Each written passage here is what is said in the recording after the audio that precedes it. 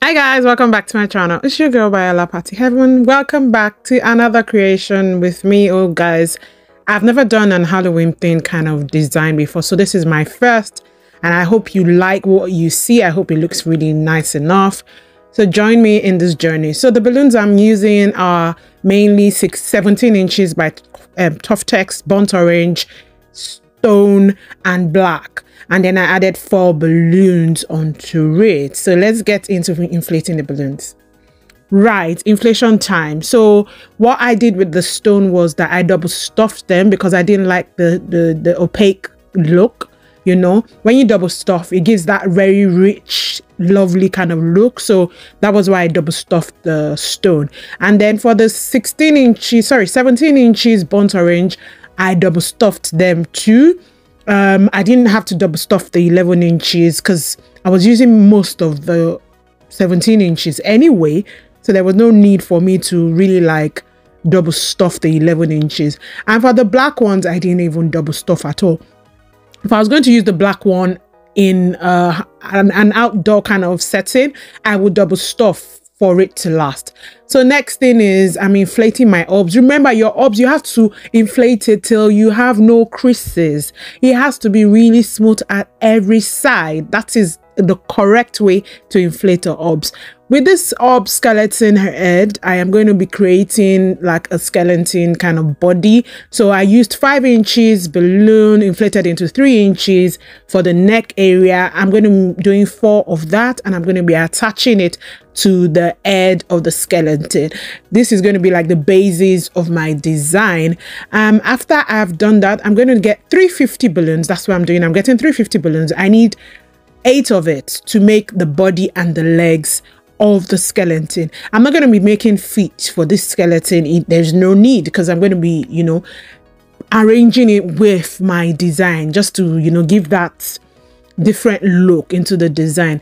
Guys, I'm going to be honest with you. This design was just a random kind of thought. It just came to me and I just kept on creating. I hope it looks as nice as I envisioned it to look. So you get the 350 you've inflated. Um, try and like you know, shape the elbow part and then create the hand part by doing a pinch twist like I am doing here. Before I go further into the video, guys, if you've not subscribed to my channel, what are you waiting for?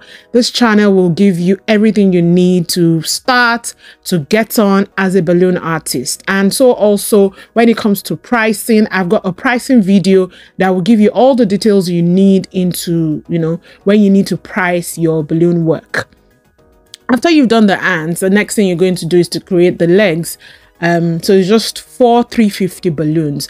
If you don't have 350 you can use 260 q2 um the 350 was more like i thought he, was you know it, he, he had more bulk to it. So that's why i've used 350q for this design. So just tie and wrap and then put it around the neck you have created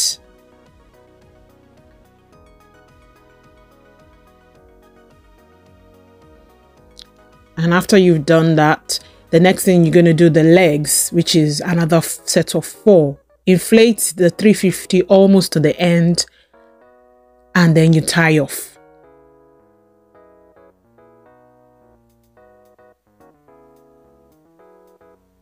Once you've inflated you wrap the four together tie it wrap it together and then you know you have a quad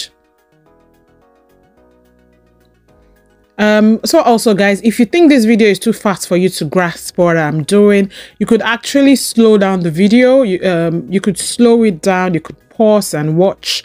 And you know yeah because the reason why i make it this fast is so you don't get bored you know watching everything. You might not want all the details.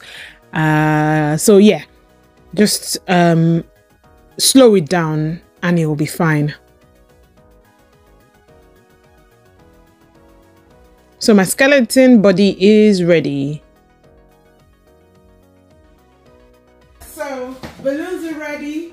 Now we put everything on the frame. So I start off with my my skeleton.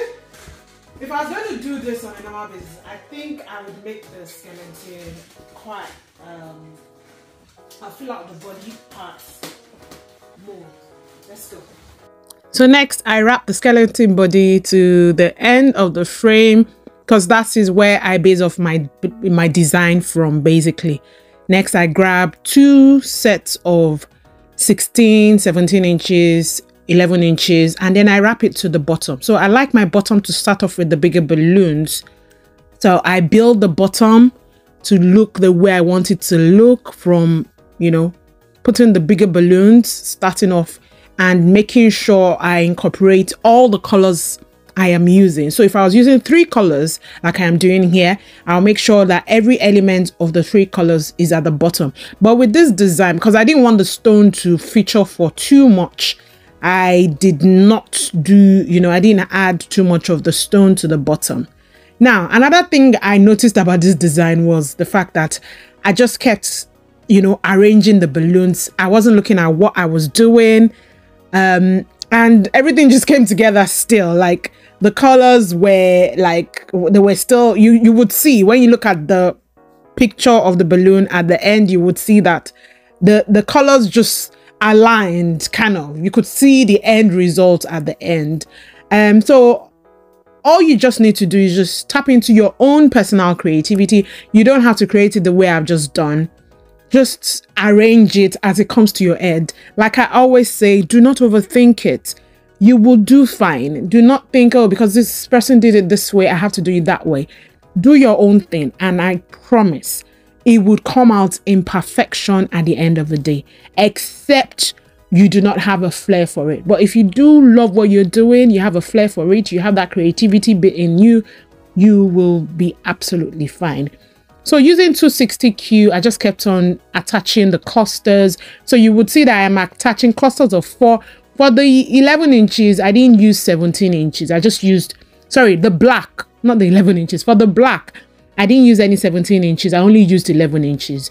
So to have like that definition in the design, so a bit of 11 inches, then the orange and the stone, especially the stone, I didn't have 11 inches of stone. So it worked out well for me.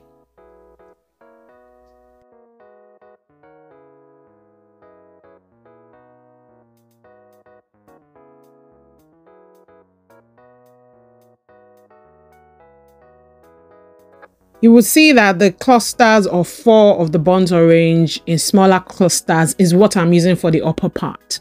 Yeah, you want to, like I mentioned earlier, I like having the bigger balloons from the bottom. Yes, in midway, I would add a bit of the bigger, um, the bigger balloons, but for the top area, to create kind of a kind of balance to the eyes, um, I make sure the smaller balloons, which is like the 11 inches or the 17 inches have been underinflated into a smaller balloons. I make sure they go towards the top to finish off the balance. You don't want to have two big balloons at the bottom and then you have big balloons again at the top.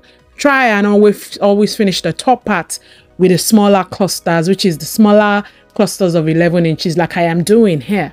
Remember, if you have any questions in regards to any of my designs, always drop a comment in the comment section.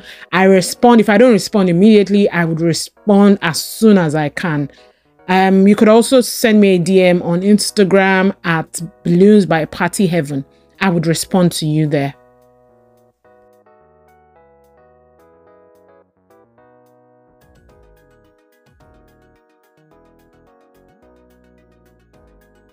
So watch how I do my base here. So you know I had done the initial first cluster. So the next thing is I'm adding the next set of clusters.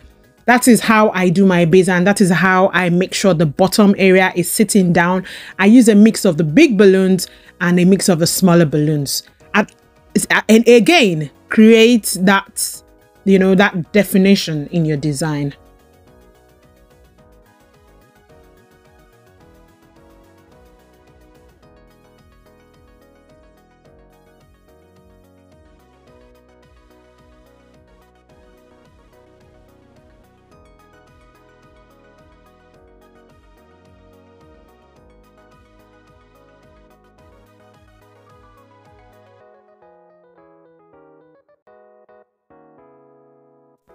Guys, another thing I need you to note here, when you're doing your base, to create that tight kind of look, please make sure you wrap in your 260Q into the balloons that are already there. That tightens the whole display and gives it that finished look you want it to have.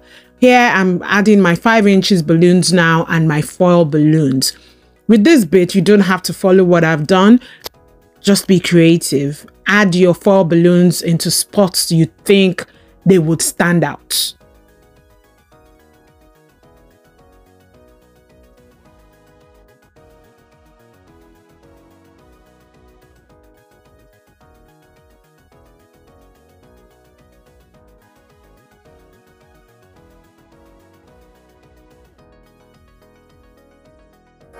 For the eye balloon, when you inflate them, make sure you pull it back so that the eye bit can really show.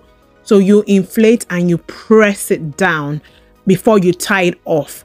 So the eyeball part comes out, you know.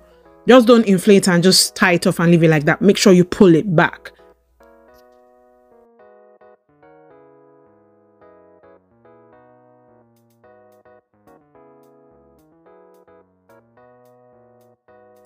Here I'm just using U-Glue Dash to attach my four balloons to where I want it to be and I am attaching my 5 inches balloons to spots I want them to be. I didn't have 5 inches uh, burnt orange for this design so what I did was I underinflated some of the 11 inches and I broke them into four pieces to create my five inches. If you want to see how I did that, I've got loads of videos showing how I break one balloon into multiple clusters. The max you can go with an 11 inches is I think five or so. Um, I've also used it to create flowers before. It's a great thing to know how to do.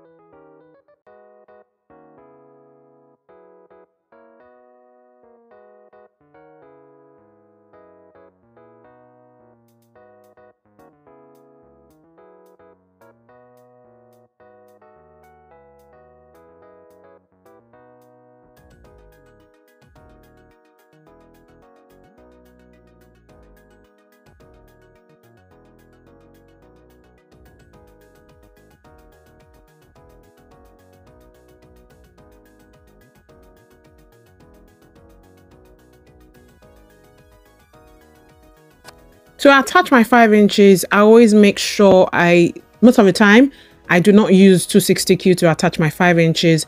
I just use the neck of the balloons, you know, the bigger balloons that are there already, and I pull it round the neck of the cluster of 5 inches I want to attach, and it stays in place. So that is what I do every time. I do not use the 260Q every time.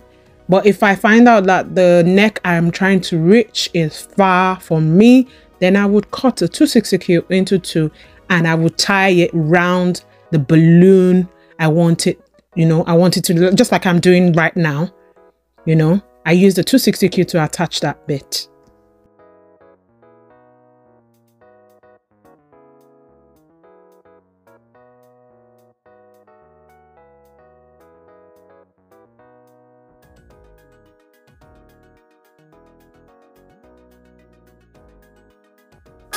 guys i know this is a very long video compared to you know the length of videos i've been putting out in recent times but honestly videos like this are always packed with so much information and i do not believe in short videos. What's the point of doing a short video when you can't get you know maximum quality from it? Um, if you like my long videos please let me know in the comments section so that i can do more of that. Um, and for those that like short videos i'll just make them into shorts and hopefully you can gain from that aspect too. So add your big foil balloons to different spots that would make them, you know, each element has to stand out. Like the pumpkin is standing on its own, the bat is standing on its own, the boo is standing on, you know, just go with the flow. Okay, guys, I hope you enjoyed what, you know, creating this design with me. If you have any questions, let me know in the comments section. Um, my first Halloween proper garland design and I loved the you know end result. It looks absolutely beautiful to me. I hope you think so too. Uh, enjoy the rest of the video and I'll see you same time next week. Bye